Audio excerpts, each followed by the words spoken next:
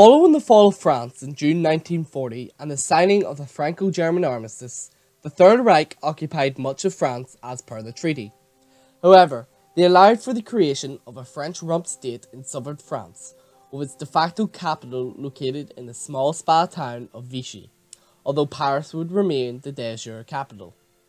The official name of this rump state was the French state, although today it is more commonly referred to as Vichy France. The Vichy regime was controlled by Philippe Pétain, a former field marshal during the First World War and a hero of Verdun.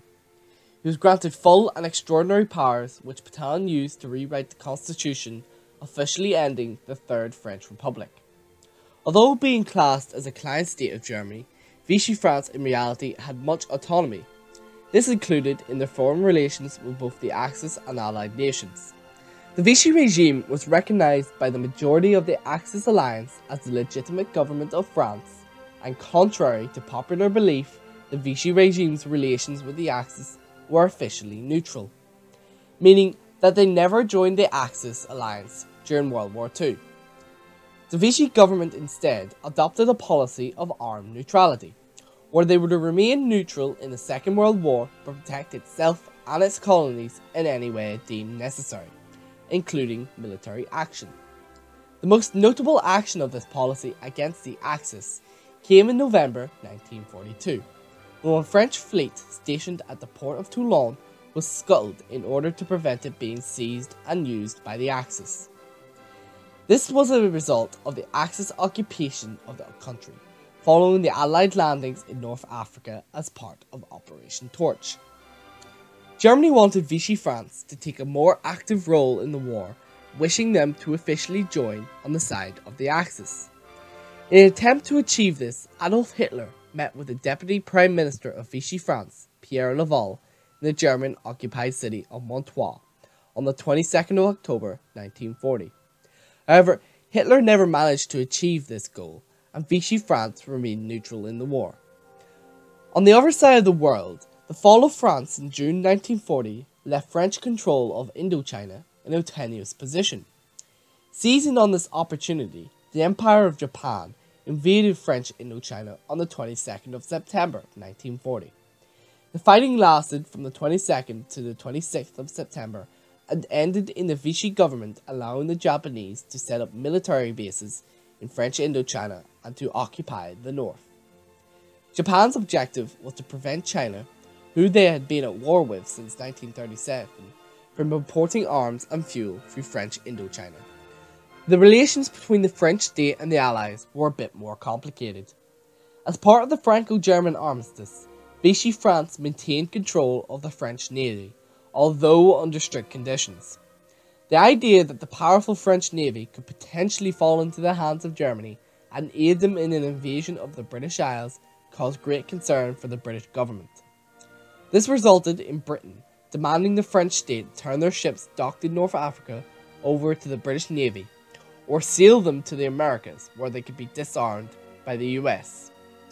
Pétain refused the British demands, and French Admiral Marshal Soult insisted that he would never let his ships fall into German hands. However, in July 1940, the British attacked the French fleet docked in the North African port of Mers el Kebir. The British admiral in charge of this operation, Sir James Somerville, was in the words of Winston Churchill charged with one of the most disagreeable tasks a British admiral has ever been faced with. Following this attack on their fleet, the Vichy government cut all ties to Britain, and in accordance with their policy of armed neutrality, conducted limited air raids against the British territory of Gibraltar. This attack by a recently allied nation just a mere two weeks ago led to an increase in anti-British feelings within Vichy France.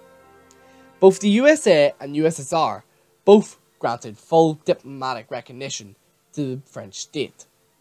However, the USSR cut all ties in June 1941, following the launching of Operation Barbarossa, the invasion of the Soviet Union by the Axis. The USA, on the other hand, maintained full diplomatic relations with Vichy France until the Axis fully occupied them in 1942. The US hoped to use their influence and encourage Vichy France to oppose military collaboration with Germany. US President Theodore Roosevelt actually preferred to work with Vichy France than with Charles de Gaulle, who led the Free French, as he thought Charles de Gaulle as, quote, the dictator's apprentice. Interestingly, the Vichy French government continued to recognize Chiang Kai shek's government based in the city of Chongqing as the legitimate government of China, despite continual pressure from Japan and the Axis to recognize the Japanese puppet reorganized national government of China under Wang Jingwei. At this time, the Vichy regime was not the only group claiming to be the legitimate French government. The Free French, led by former French Minister of Defense Charles de Gaulle, claimed to be the true French government in exile. However, in Vichy France, many saw de Gaulle as nothing more than the British puppet and a traitor. This feeling changed, however, as the war progressed and turned more against the Axis, with the Free French gaining more and more support from former Vichy colonies and supporters. In relation to the French colonial empire, while a few French colonies in Africa went over to the Free French immediately following the creation of Vichy France, many stayed loyal to the new French state. As the war progressed, though, many would peacefully switch sides to the Free French and Allied cause. Despite Vichy France's official policy of neutrality during the Second World War, there were several conflicts with Britain and the Free French in their colonial holdings. The first of these conflicts took place at the Battle of Dakar. This holding was part of the West Africa campaign, which remained loyal to the Vichy regime. The port of Dakar was far superior to the British port of Freetown in modern day Sierra Leone. Furthermore, the gold reserves of the Banque de France and the Polish government in exile were stored there.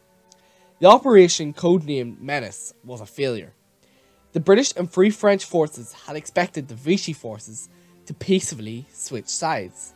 Instead, they put up a stiff resistance and managed to repel the attack. Hitler was so impressed by the Vichy resistance at Dakar, he allowed an increase of the Vichy army limit. The next but successful clash came with the Free French campaign in Equatorial Africa, which, with the exception of French Gabon, peacefully switched sides. The Battle of Gabon saw Free French and Vichy forces fighting each other face to face for the first such time of the war. In June 1941, the British and Free French forces began Operation Exporter, the invasion of Vichy, Syria, and Lebanon. This offensive had the goal of preventing the Axis from using Vichy air bases in the region to attack Egypt. The invasion lasted five weeks and ended in the occupation of Beirut and the armistice of Saint Jean d'Acre. The British had originally had misgivings about allowing the Free French to participate in this invasion, knowing that the Vichy supporters viewed them as traitors. Nonetheless, Charles de Gaulle insisted, and so Free French troops took part. However, this encouraged the Vichy forces to put up a stiffer resistance than expected, and the Vichy forces being repatriated to the mainland, only 5,668 forces defected to the Free French, with 17,563 forces being repatriated back to Vichy France. Following the Italian defeat in the East Africa campaign, the Vichy loyal colony of French Somaliland was invaded by the British and so changed sides to the Free French and Allies by the end of 1942. In the Far East colony of French Indochina, the acquiescence of the Vichy government to Japanese demands prompted Thailand to invade to claim lost territory in Laos and Cambodia lost to France in the early 20th century. This began the short Franco-Thai War, which lasted from October 1940 to May 1941, and ended with the Vichy government ceding Indochina territory to Thailand through a negotiated peace by the Japanese. The end of the Vichy government's autonomy came following the Allied landings in Vichy-controlled North Africa in November 1942 as part of Operation Torch. This prompted the Axis to occupy the rest of the country and led to the Vichy government becoming nothing more than a puppet government to the Axis. And by late 1944, the Vichy France government officially ceased to exist with the Allied liberation of France.